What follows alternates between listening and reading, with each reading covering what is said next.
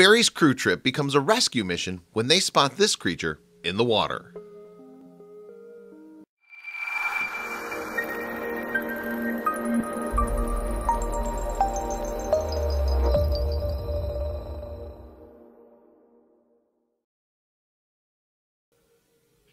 In New South Wales, Australia, ferries transport thousands of citizens from the bustling city of Sydney to the suburb of Manly every day.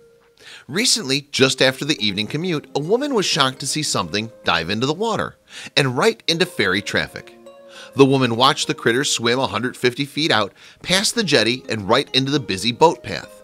Something had to be done. But what? Luckily, a volunteer for the Sydney Wildlife Rescue Group named Joseph Battaglia was nearby feeding penguins.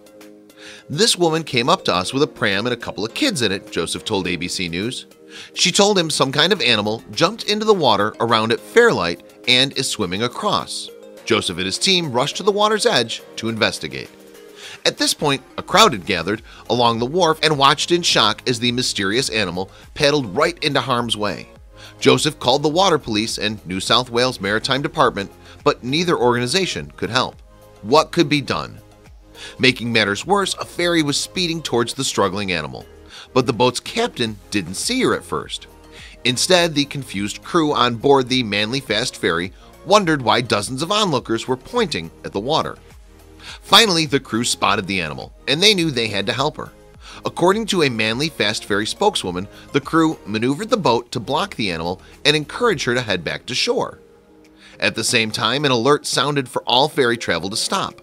Unfortunately, the animal kept swimming in the wrong direction and the ferry's crew, which included Chris Thomas, knew they had to take matters into their own hands.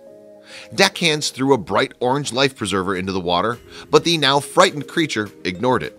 It was a long shot plan. How would she know to take hold of it anyway? It was time to reassess their options. By this time, the ferry had moved closer to the animal, and the crew could make out exactly what it was a wallaby. Not known for having great swimming abilities, the young marsupial had already become exhausted, and she could drown at any moment, so Chris grabbed a rope. The captain steadied the ferry as best he could, and Chris carefully lowered the rope he'd fashioned into a lasso into the water. He waited until he was able to position the lasso's loop around the waterlogged wallaby. After many anxiety-filled moments, the crew raised the exhausted marsupial from the water Another crew member who'd been kneeling beside Chris used a boat hook to catch the wallaby's tail. Now there was nowhere for her to go but up. Once they had the wallaby on board, they saw just how tired the poor thing was. One of the crew members had to hold the terrified animal just to calm her down. That was when they realized they had another problem.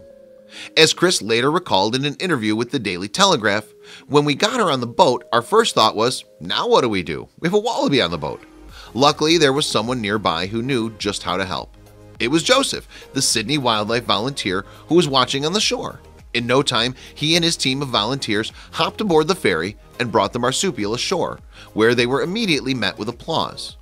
Will she be okay? One onlooker asked as Joseph's team brought the marsupial to dry land. From the looks on these Sydney wildlife team's faces, they likely knew the marsupial wasn't out of the woods yet. The rescuers called Jody Lewis, another Sydney wildlife volunteer who didn't believe what she was hearing. When we got the call asking us to go, we thought it was a G-up, she said, believing it was a prank.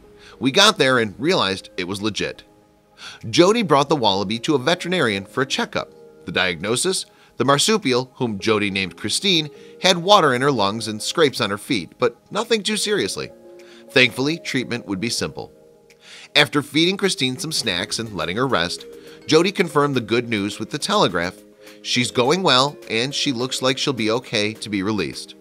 Unfortunately, Christine's predicament was actually part of a larger wallaby issue in Australia. As Sydney Wildlife's Joan Reed said, wallabies are more vulnerable than ever. They can't get from point A to point B because of new building projects. In other words, their habitats were being destroyed or cut off altogether. Jody echoed those sentiments with the Telegraph. It's possible the land clearing is starting to have an effect on animals, she said. We do what we can. Recently, she fought for tunnels and new developments to ease animal travels, but she lost. In the end, Christine the Wallaby was fortunate that Chris Thomas and the crew aboard Manly Fast Ferry went the extra mile to save her life. A lot happens on the harbor, Chris said. but this must have been one of the weirdest incidents.